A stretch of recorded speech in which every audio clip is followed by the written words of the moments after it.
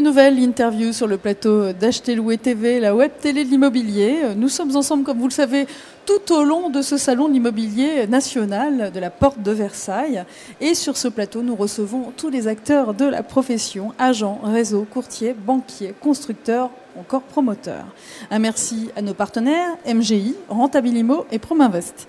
Mon invité est Marc Flandrin. Bonsoir. Bonsoir. Marc, vous êtes fondateur de Morito Media. Alors vous êtes à l'origine d'un concept novateur qui s'appelle Partir vivre au soleil. Vous pouvez nous en dire plus? Alors Partir vivre au soleil, c'est un concept qui tourne autour de trois supports. Un guide de, l'expatriation, un site internet et une présence de promoteurs immobiliers de pays de soleil dans le Salon national de l'immobilier. D'accord. C'est une idée que vous avez mise en place, euh, j'allais dire hier, l'année dernière L'année dernière. On a initié l'année dernière avec, euh, en partenariat avec le, salon. Et comme ça s'est très bien passé, on a réitéré euh, l'expérience et on va essayer de la faire grandir. D'où est partie votre démarche en fait? Alors moi, comme je suis dans l'organisation de salon depuis 28 ans, j'avais repéré ce type de salon en Angleterre et en Belgique notamment où euh, le, souci et l'envie d'acheter euh, dans des pays de soleil euh, est très fort dans ces pays-là. Et j'ai pensé qu'il y avait effectivement une opportunité pour proposer aussi un tel concept et, aux Français, en fait. Et comme le Salon national de l'immobilier est le plus grand salon français de l'immobilier, je trouvais logique de, de m'insérer dans un événement puissant. Puis partir vivre au soleil, ça doit bien marcher en ce moment parce qu'on n'en a pas beaucoup du soleil justement. manque de soleil, effectivement, c'est une réalité.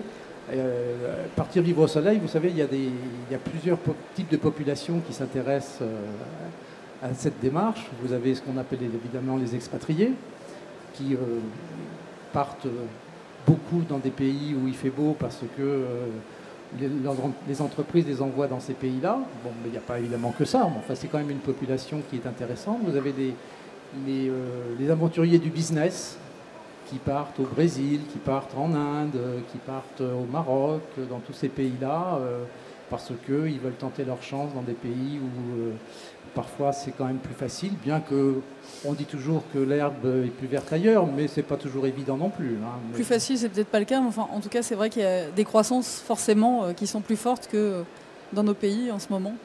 Et eh oui, l'expatriation aussi euh, est en forte croissance. Euh, aussi auprès des jeunes. Oui. malheureusement, parce que même des gens qui ont fait des bacs plus 5 et qu'on leur propose uniquement des stages à la sortie, c'est pas fait pour les motiver très fort. Donc euh, là aussi, il y a euh, un vrai mouvement d'expatriation euh, dans des pays où c'est plus facile. Il y en a qui viennent vous voir, des jeunes, sur partir vivre au soleil? Alors c'est vrai qu'ici, on est quand même dans le cadre de l'immobilier, hein, dans le cadre de l'achat d'immobilier, donc ce n'est pas leur première préoccupation. Ça va l'être vraisemblablement, puisqu'on s'aperçoit que 40% de ceux qui partent disent qu'ils ne rentreront plus en France, ce qui est un taux quand même très important. Euh, une fois qu'ils y ont goûté, 40% bah, d'entre eux restent. Donc euh, ils vont y faire leur vie. Donc forcément, à un moment donné, ils vont s'intéresser à l'immobilier. Quelle destination euh, proposez-vous? Alors nous avons traditionnellement bien sûr le Maroc, hein, qui est la première destination. Il faut savoir que 27% des retraités qui partent au soleil partent au Maroc. Donc c'est la, la première destination. Sur quelle ville?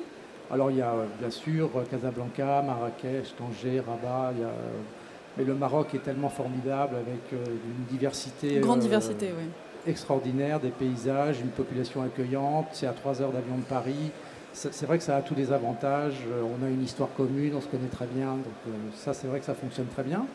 On a la Tunisie qu'il ne faut pas oublier, malgré tout ce qu'on dit aujourd'hui. Quand on parle avec les Tunisiens, ils sont extrêmement optimistes sur l'avenir de mhm. leur pays.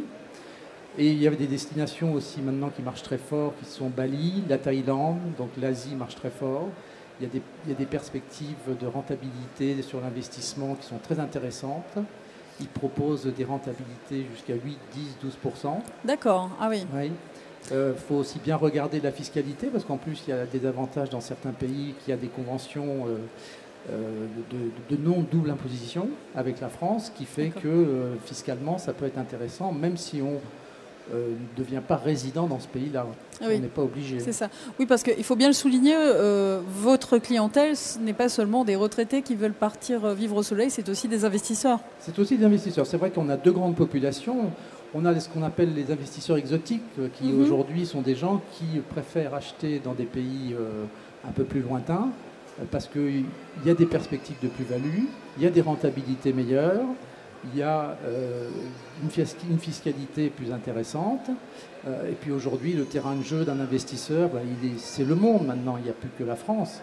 Et avec, euh, je regrette de le dire, le matraquage fiscal qu'il y a actuellement euh, sur euh, les rentabilités et les investissements immobiliers en France, euh, bon, les gens regardent ailleurs et ça devient une normalité. D'accord. Donc si je résume, euh, Partir vivre au soleil, c'est un site internet, un guide papier et un stand? Et, et effectivement, une, une- un regroupement de promoteurs immobiliers de Pays de Soleil. D'accord. Merci beaucoup Marc d'être venu sur notre plateau. Merci. Et donc euh, on vous souhaite une excellente soirée. Et demain, on continue nos programmes sur Louer TV, la web télé, l'immobilier. Donc à demain, on compte sur vous.